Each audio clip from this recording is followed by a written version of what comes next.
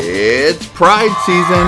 Are you ready to show off your body loud and proud, or is a huge bush holding you back? Wow! It's getting too big! Don't worry, sweetie. Our sponsors for today, Manscaped.com. Manscaped is the only brand dedicated to below the waist grooming, and they just dropped brand new tools for Pride. What a better way to celebrate Pride than to cut your unruly body hair? Prep for Pride with the brand new Lawnmower 4.0 and the Ultra Smooth package. Did somebody say smooth? That's right, we said smooth. The Manscaped Ultra Smooth package is a three step kit to help keep you smooth down there. Step one exfoliator. Infused with ingredients that soothe, clear, and keep the skin on and around your groin feeling refreshed. Gel. See where you're shaving with our unique clear shaving gel just for the groin. The Crop Shaver will shave your groin with confidence. Three precision blades and ultra wide lubrication strips. Make sure you get a smooth and clear shave every time for that ultimate grooming experience. All three of these vegan, cruelty free, and sulfate free products you'll find in the Manscaped Ultra Smooth package. What must I do again, Jonny? Go to manscaped.com and use the code WEED.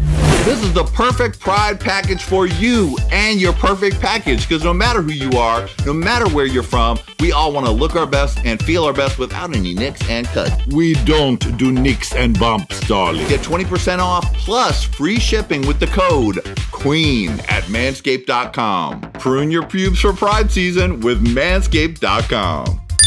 Thanks, Manscaped. It's pride, not ball nicking season. You know what I mean? Hey, hey, Qween. Yeah! Look at her. Wait a minute. Look over there. Who's that? Look at them. Uh huh. They're serving. And Eureka serving. She's glamour. Look at her. Hello, everyone, and welcome to Look at Her, the Hey Qween After Show, where our super celebrity guest looks at some of the queens they played with, slayed with, or even laid with, and spills a little tea. Oh, there's Eureka in this tea. Throws a little ah! shade if they have to, or just tells us something that we don't know. Today's guest is the star of HBO's hit series We're Here, Eureka O'Hara. Yay! elbow, elbow, wrist, wrist, elbow. I am too ready to look at her. Yes, honey. Oh my goodness, Eureka! Thanks for being here in our Yeah. season finale. Oop, what, what? Come on, bigger than ever. The biggest finale yet. Come on! Uh, you walked in and I said, oh, "Honey, you match the set." I mean, the curtains do match the drapes.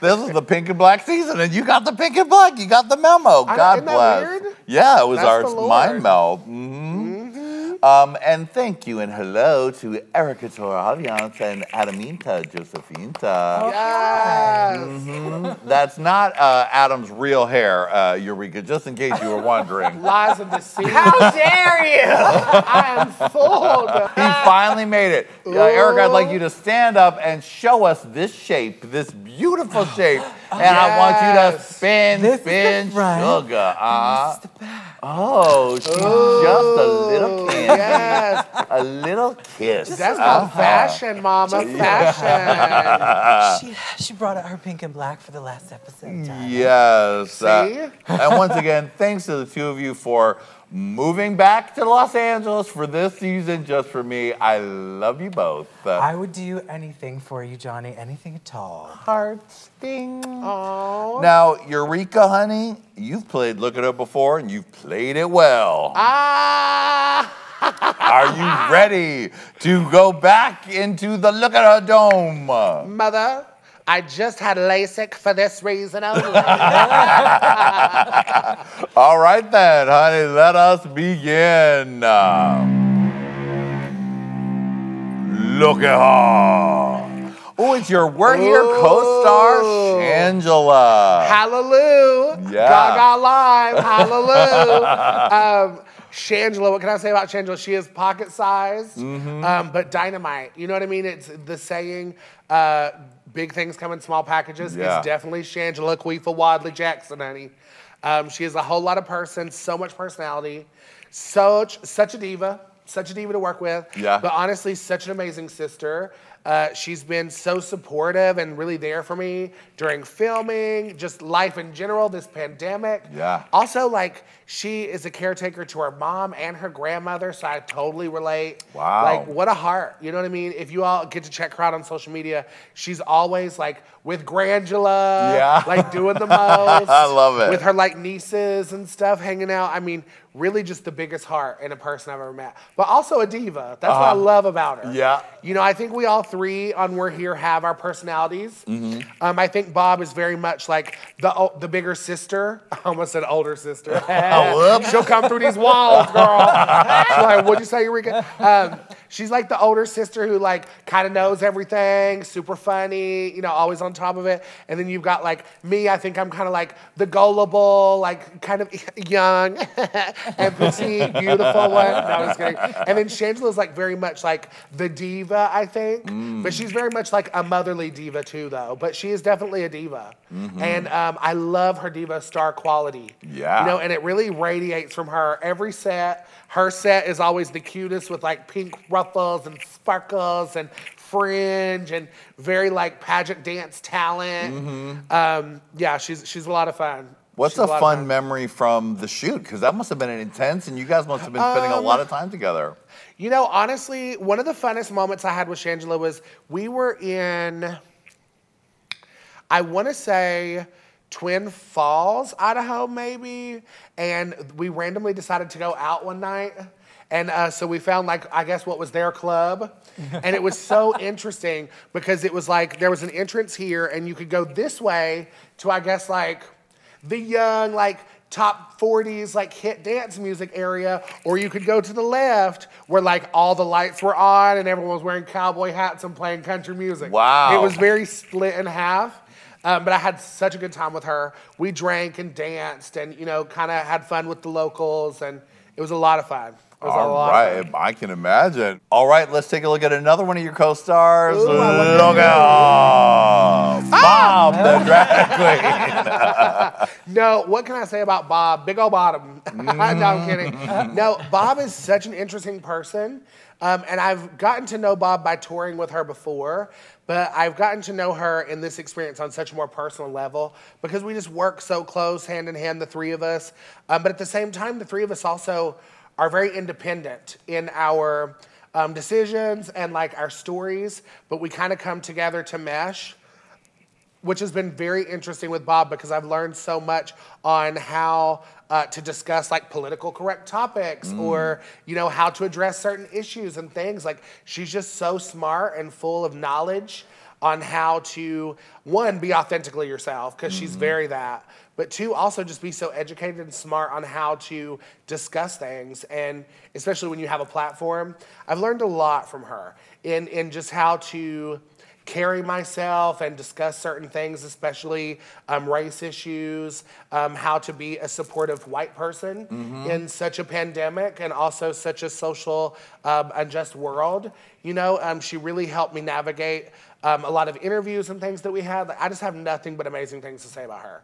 Um, and also, she's fucking fierce. Like, Bob is an amazing drag queen. Yeah. Like, I don't know anything this girl can't do. Like she'll literally just make up a rap about anything. Uh-huh. like one, she should be a rap artist. Two, she doesn't touch anything that's not successful.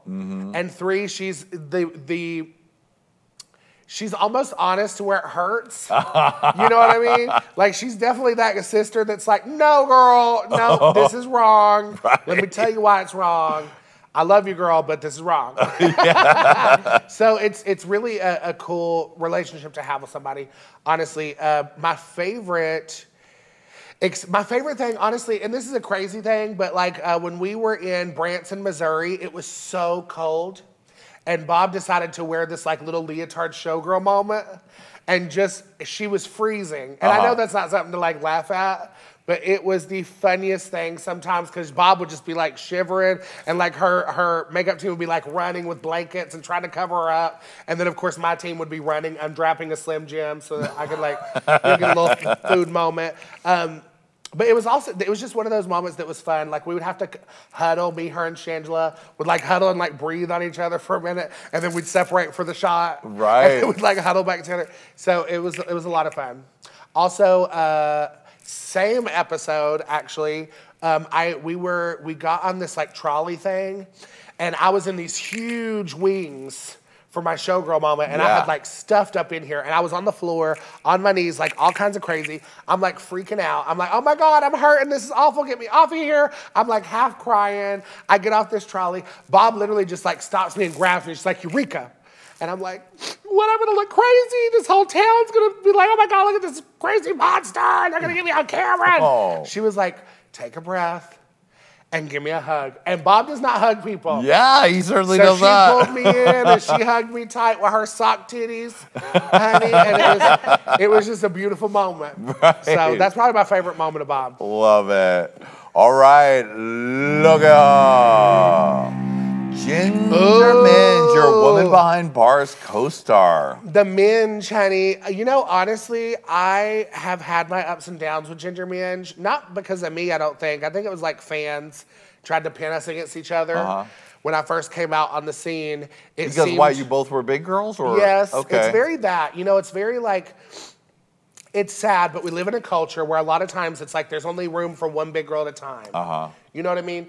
Like there's only one big girl that's booked for the for the tour. Right. There's always only one big girl on the sh- on the season at a time. You know what I mean? There's always like we've painted this picture of just like room for one big girl. Right. When really there's room for all of us. Yeah. You know, and so I think that's been our job to like teach the fans and teach people that there's plenty of room for all of us. But honestly, I have to say, she was such an incredible person to work with on Women Behind Bars because she's such a good actress. Um, like she, she didn't have the biggest role, but I'll tell you, I always looked forward to her monologue because she made me tear up every time she did it. It was just this monologue about, you know, um, not being able to fly anymore and she played this cuckoo character anyway.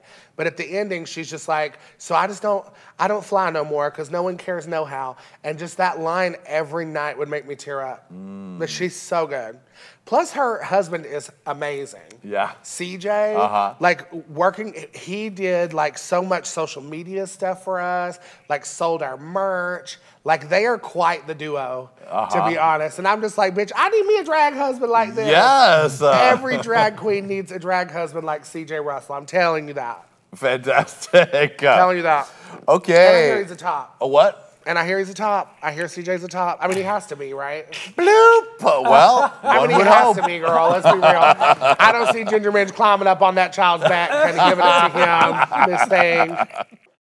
Hello, children. Click here. Click here. And subscribe. You're welcome.